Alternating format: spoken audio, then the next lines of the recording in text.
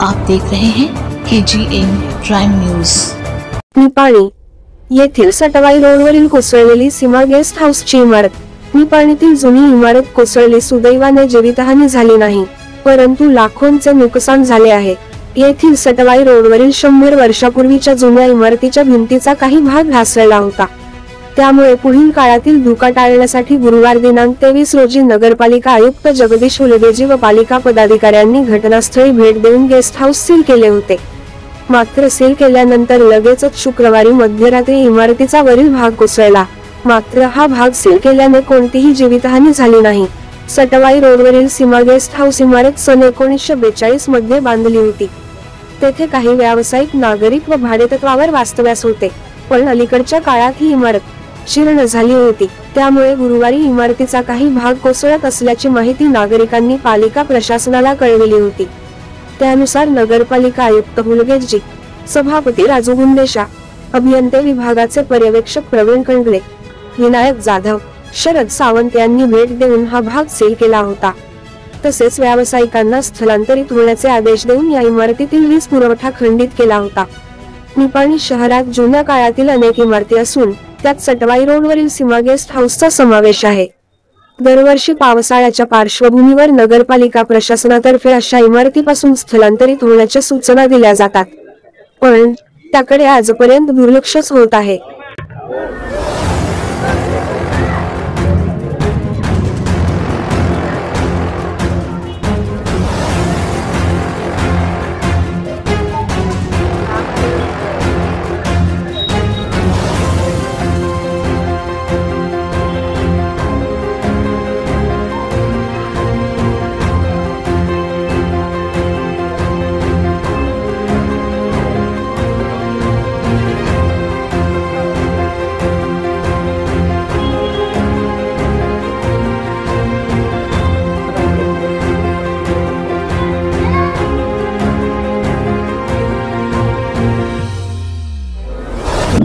ತಮ್ಮ ಹೆಸರು sir Arvind Ligade sir ಈಗಾಗಲೇ ನಿಮ್ಮ ಬಿಲ್ಡಿಂಗ್ ಬಿದ್ದಿದೆ ಅದ್ರ ಬಗ್ಗೆ ಏನು ಹೇಳ್ತಾರೆ ಲಿಗಾಡೆ ಬಿಲ್ಡಿಂಗ್ ಸಟ್ವಾಯಿ ರೋಡ್ ನಿಪಾಟ್ ಹ್ಮ್ ನನ್ನ ಅಡ್ರೆಸ್ ಮತ್ತು ಇನ್ನೇನು ಕ್ವಶನ್ ಕೇಳ್ತಿದ್ರೆ ನೋಡ್ರಿ ಬಿಲ್ಡಿಂಗ್ ಅವರು ಓನರು ಶಹಾ ಅಂತ ಹ್ಮ್. Guruwar Peth Nipani resident hmm.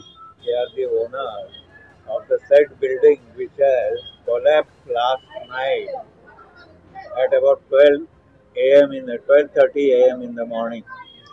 And prior to that, uh, ಅದಕ್ಕಿಂತ ಮೊದಲು C M C commissioner the owners of that said building they have said that the said building is dangerous to the general public and it should be demolished at their cost. And they have said that as we are financially in that pos- not uh, position, you should demolish at your cost, either CMC or the government of Karnataka, if it is so dangerous to the general public. Okay So that is why they have still kept it pending. And last night, suddenly it has collapsed. How we don't know. Most probably it has been done intentionally by some unwanted element. Most probably, I suspect that. And I, in fact, allege that this uh, CMC commissioner, Mr. Hulgoji, who's the most corrupt person. And I, in fact, allege some of the councillors also are in hand with him. Therefore, this building should be totally demolished in the interest of the public, okay in the interest of the public Okay. security.